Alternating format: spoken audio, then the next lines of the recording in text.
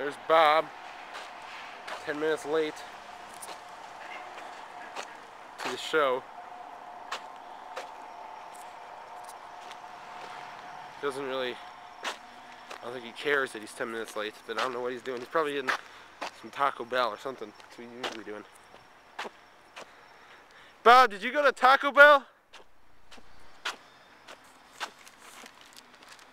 Bob. Why are you hiding, Bob? There's nothing to hide from. I'm just saying, hey. Did you go to Taco Bell? Why are you late? What? Why are you late? Did you go to Taco Bell? Why are you late? Why are you late? Ah. Did he catch you? Huh.